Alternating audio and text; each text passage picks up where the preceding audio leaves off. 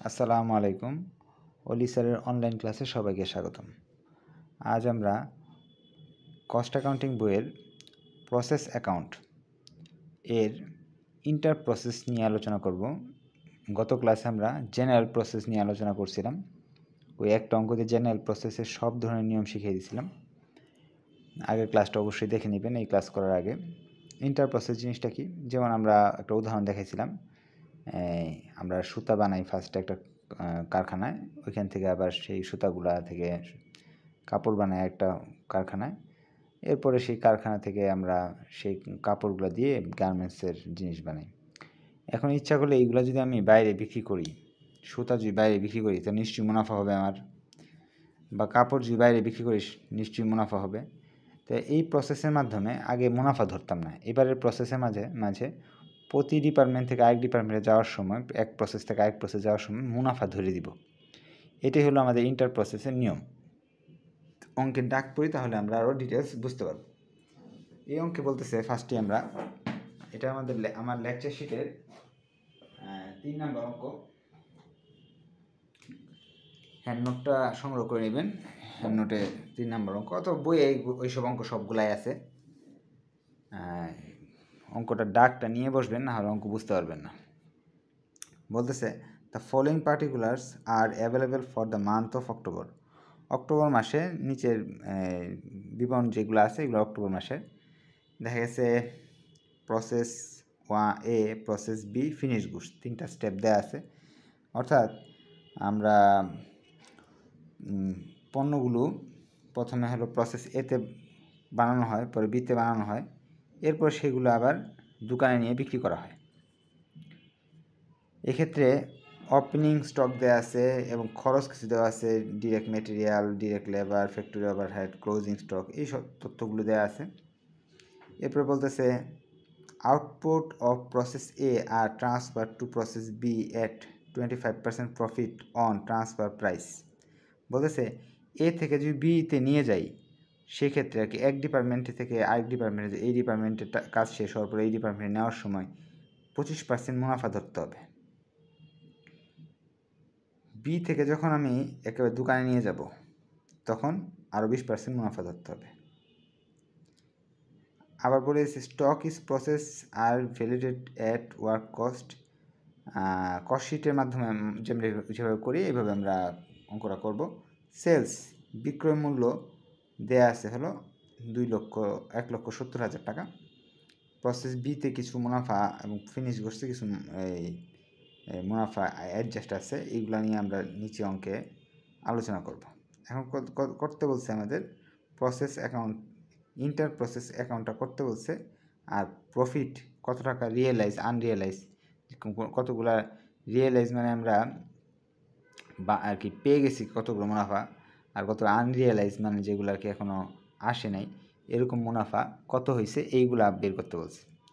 তাহলে অঙ্ক করতে গেলে আমাদের ফার্স্টে প্রসেস কি এর একটা ঘর করব, আগের মতোই ডিটেলস টোটাল টাকা কস্ট প্রফিট আগের মতোই ঘরটা হবে আটটা ঘর, কিন্তু এখানে আপনার আগে যখন ইউনিট কস্ট এরকম লিখতাম, এরকম না, এখানে টোটাল কস্ট প্রফিট আর কি মোট টাকা, এখানে খরচ এবং মুনাফা, এটা বের করতে হবে। এই এরকমভাবে ঘরটা করতে হবে। তাহলে আপনারা এরকম একটা ঘর করে ফেলেন আমার সঙ্গে সাথে সাথে। প্রথমে লিখব হলো ওপেনিং স্টক ওপেনিং স্টক এখানে কত দেওয়া আছে? এরটা করতেছে যেন ষোলো হাজার টাকা দেওয়া আছে। ওপেনিং স্টক এখানে টোটাল লিখব ষোলো হাজার কস্টের ঘরে লিখব ষোলো হাজার। ডিরেক্ট মেটেরিয়াল দেওয়া আছে এখানে চল্লিশ হাজার, এখানে দেওয়া আছে এখানে লিখব চল্লিশ হাজার। ডিরেক্ট লেবার পনেরো হাজার, এখানে দেওয়া আছে এখানে লিখব পনেরো হাজার। আমরা জানি এই তিনটা কস্ট যোগ করলে বেরিয়ে আসবে প্রাইম কস্ট প্রাইম কস্টের সঙ্গে ফ্যাক্টরি ওভারহেড যোগ করলে আমাদের আসবে হলো ওয়ার্কস কস্ট তো এইগুলো আমরা কিন্তু প্রথম যে চ্যাপ্টার বা ফার্স্ট চ্যাপ্টার কস্ট শিট এখানে শিখে আসছি যে ডিরেক্ট সবগুলো যোগ করলে প্রাইম কস্ট আসে, এটার সাথে ফ্যাক্টরি ওভারহেড যোগ করলে ওয়ার্কস কস্ট এটা আগের মতোই আমরা যারা আছে, এইভাবে আমরা করলাম, একাশি হাজার টাকা বের হলো। এখান থেকে আমরা কী করি? ক্লোজিং স্টকটা বাদ দিব। ক্লোজিং স্টক কত আছে? বারো হাজার।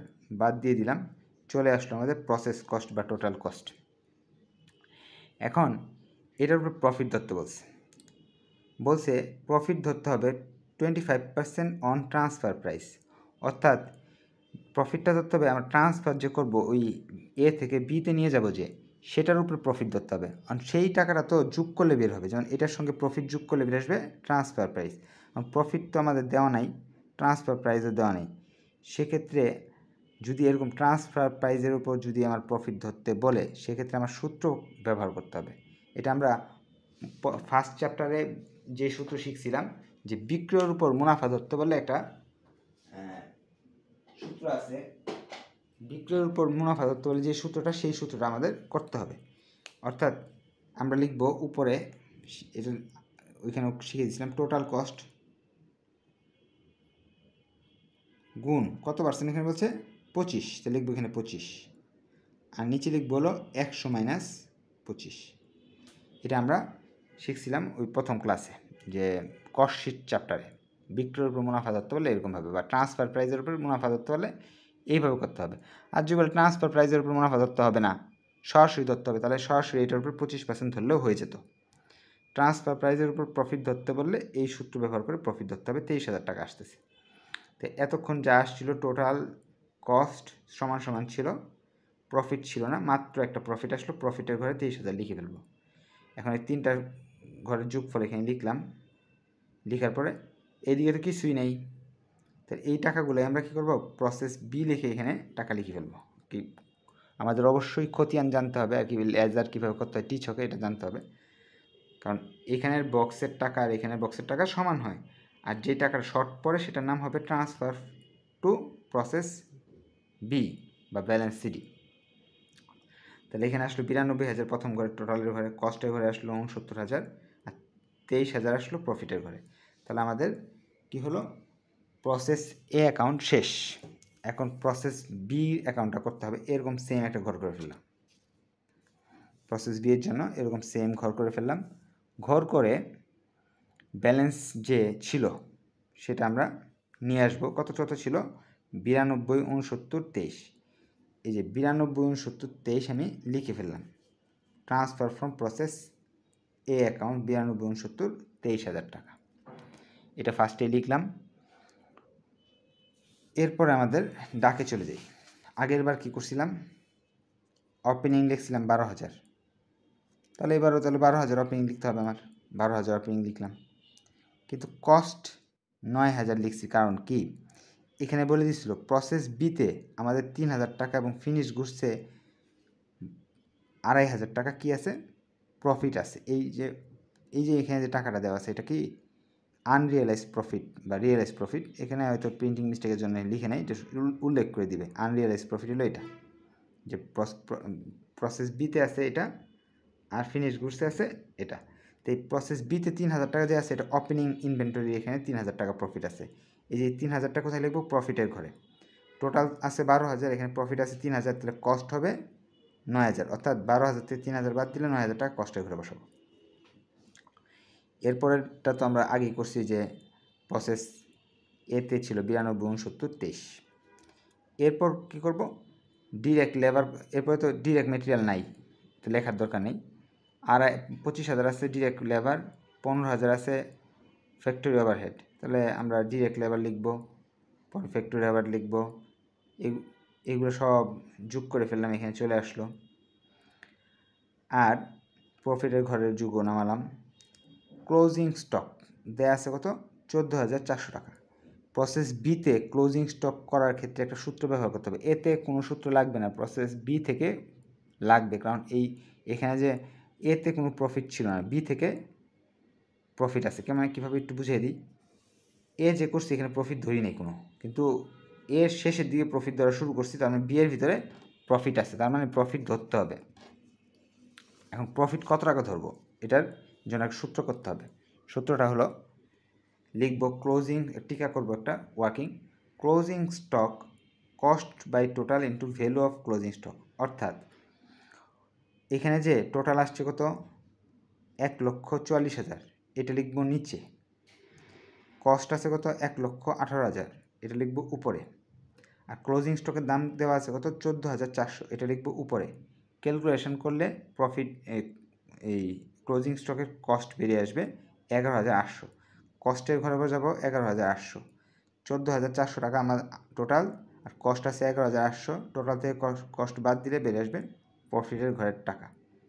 তাহলে আমাদের যোগ করলে যে মান আসে প্রসেস কস্ট বেরিয়ে আসলো। এখন তারা বলছে বি প্রসেসে যখন যাবে, তখন আমাকে বিশ পার্সেন্ট মুনাফা ধরতে বলছে। বি স্টকে যাওয়ার বি স্টকে যাওয়ার সময়, বি স্টক থেকে ট্রান্সফার প্রাইজে যাওয়ার সময় বিশ পার্সেন্ট মুনাফা ধরতে হবে। তাহলে আগের বার যেভাবে সূত্র দিয়ে করছিলাম, উপরে লিখছিলাম টোটাল কস্ট ইন্টু বিশ, একশো মাইনাস বিশ লিখব। কারণ এবার বলছে বিশ পার্সেন্ট তো এই সূত্র অনুযায়ী আমাদের কত আসলো? বত্রিশ হাজার চারশো। উপরে লিখব এক লক্ষ উনত্রিশ হাজার ছয়শো গুণ বিশ, নিচে লিখব একশো মাইনাস বিশ। এটা আসলো। তো এটা এই ঘরে বসবে আর প্রফিটে ঘরে। যুগ নিয়ে নামিয়ে ফেললাম, এই দিক দিয়েও ফিনিশ ঘুরছে, যুগ চলে আসলো balance C D process B করলাম। এবার এবার বাকি আছে কি? ফিনিশ স্টকের একটা ছক করতে হবে। ফিনিশ স্টকে সেম ছক করে ফেলাম আমরা।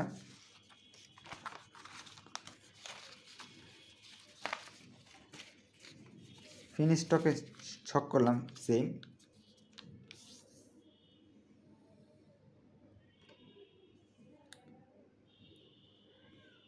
এখানে ওপেনিং লিখলাম ওপেনিং এখানে আছে। ব্যালেন্সটা ওইখানে যা ছিল, বাষট্টি হাজার সামথিং যা ছিল, সেটা সেটা লিখে লিখলাম। বি বিতে যে ছিল যে বিয়ের যে ব্যালেন্স যেটা ছিল, এটা আমরা লিখে ফেললাম। আর কি প্রসেস বি যেভাবে করছি, এভাবে করতেছি ব্যালেন্স নিয়ে আসলাম, যোগ করলাম। ক্লোজিং স্টক এখানে কত আছে? আট হাজার ছয়শো। এই আট হাজার ছয়শো যে আগের বা সূত্রের মধ্যে যেভাবে বের করতে সেভাবে কস্টটা বের করে নিলাম। আগের সূত্র ইউজ করে। তাহলে আমাদের প্রফিট বেড়ে আসলো। এখন এই ক্ষেত্রে ট্রান্সফারের যে প্রাইসে এখানে কত টাকা, কত পার্সেন্ট প্রফিট এখানে কিছু বলে নাই। যার ফলে আমরা কি করব, এখানে বলেছে বিক্রয় মূল্য এক লক্ষ সত্তর হাজার টাকা। তাই টোটাল কস্ট আস্তে আস্তে আমার এক লক্ষ তেষট্টি হাজার চারশো, বিক্রয় মূল্য আছে এক লক্ষ সত্তর হাজার টাকা। এটা থেকে এটা বাদ দিলে প্রফিট আমার চলে আসবে। তাহলে এখানে এই ফিনিশ স্টকের কাজ শেষ। এখন আমাদের তারা বলছে আনরিয়েলাইজ অ্যান্ড রিয়েলাইজ প্রফিট এটা করতে হবে। এটার জন্য এখানে আমি সংক্ষেপ সুন্দরভাবে একটা ঘর করে দিছি। এখানে প্রসেসগুলো লিখব, এখানে প্রফিটটা প্রফিটটা লিখব আনরিয়েলাইজ ডিফারেন্স রিয়েলাইজ এভাবে করতে হবে ঘর। কীভাবে করতে হয়? Process A B finish goods লিখব। প্রসেস এতে আমাদের মুনাফা ছিল, দেখি, তেইশ হাজার টাকা। তাহলে লিখব তেইশ হাজার টাকা। এটা পুরাটাই রিয়েলাইজ এটা আনরিয়েলাইজ না। আচ্ছা। এখন প্রসেস বিতে প্রফিট কিন্তু ভাঙা ভাঙা ছিল। দুই জায়গায় ছিল। একটা ছিল ওপেনিংয়ে ছিল তিন হাজার ইন্ডিংয়ে ছিল ছাব্বিশশো, এখানে ছিল হলো বত্রিশ হাজার চারশো তিনটা ছিল প্রসেস বিতে তিনটা লিখব এখানে, বত্রিশ হাজার লিখব প্রথমটাতে ওপেনিংয়ে লিখব তিন হাজার ইন্ডিংয়ে নেব লিখব ছত্রিশ, ছাব্বিশশো। ও দেখা যাচ্ছে না না? আচ্ছা দাঁড়ান, আবার দেখাচ্ছি। প্রসেস এতে কিন্তু কোনো প্রফিট একটাই ছিল। এই জায়গায় কি? এই জায়গায় একটা প্রফিট ছিল। ওপেনিং ইন্ডিংয়ে ছিল না। শুধু তেইশ হাজার প্রফিট ছিল। এটা লিখব এই জায়গায়, তেইশ হাজার টাকা। ওপেনিংয়ে যদি থাকতো তাহলে এনে লিখতাম ক্লোজিংয়ে থাকলে এখানে লিখতাম নাই। ডিফারেন্স নাই। তেইশ হাজার সরাসরি বসাই দিলাম। প্রসেস বিতে যাওয়ার পরে প্রফিট তিনটা আসছে। একটা প্রথমে আছে হলো তিন হাজার, পরেরটা আছে হলো ছাব্বিশশো, পরেরটা আছে বত্রিশ হাজার দুইশো, চারশো। বত্রিশ হাজার চারশোটা এনে লিখব। ওপেনিংয়ে যে তিন হাজার আছে, এটা লিখব এই জায়গায় ওপেনিংয়ের ঘরে। ক্লোজিংয়ের যে ছাব্বিশশো আছে, এটা লিখব ক্লোজিংয়ের ঘরে। এই যে এখানে তিন হাজার থেকে ছাব্বিশশো বাদ দিলে যেটা থাকে, এটা হলো ডিফারেন্স এই চারশো কী করতে হবে যোগ করতে হবে। ওপেনিং থেকে ক্লোজিং বাদ দেওয়ার পর যে টাকা থাকে, এটা আমরা কী করব? বত্রিশ হাজার চারশো সাথে যোগ করলে রিয়েলাইজ প্রফিট আসবে বত্রিশ হাজার চারশো টাকা। কারণ ওপেনিংটা যেটা ছিল, এটা বেচে লাইছি, কিন্তু ইন্ডিংয়ে যেটা, এটা বেচি নাই, বিক্রি করিনি। তার মানে কি? ওপেনিংয়ে তিন হাজার টাকা প্রফিট আর ইন্ডিংয়ে ছাব্বিশশো প্রফিট বাদ দিলে চারশো টাকা অতিরিক্ত প্রফিট আছে সেটা আমরা লিখব। ফিনিশ গুডসের যে ছিল, সেখানে প্রফিট ছিল এই যে একটা পঁচিশশো টাকা, এখানে ছিল একটা উনত্রিশশো টাকার আর এখানে ছিল ছয় হাজার ছয়শো টাকা। ছয় হাজার ছয়শো টাকা এখানে লিখব ওপেনিংয়ের পঁচিশশো এখানে লিখব ইন্ডিংয়ের উনত্রিশশো এখানে লিখব। ওপেনিং থেকে ইন্ডিং বাদ দিব মাইনাস চারশো পনেরো টাকা আসে। এই ছয় হাজার ছয়শো থেকে চারশো পনেরো টাকা বাদ দিব, চলে আসব ছয় হাজার একশো পঁচাশি টাকা। টোটাল যখন যোগ করব রিয়েলাইজ প্রফিট আমাদের চলে আসতেছে একষট্টি হাজার নয়শো পঁচাশি টাকা। আশা রাখি অঙ্কটা বুঝতে পারছেন। ইন্টার প্রসেসের যত ধরনের সমস্যা আছে, এই ক্লাস দেখলে আমাদের সমাধান হয়ে যাবে ইনশাল্লাহ ধন্যবাদ সবাইকে, আসসালামু আলাইকুম।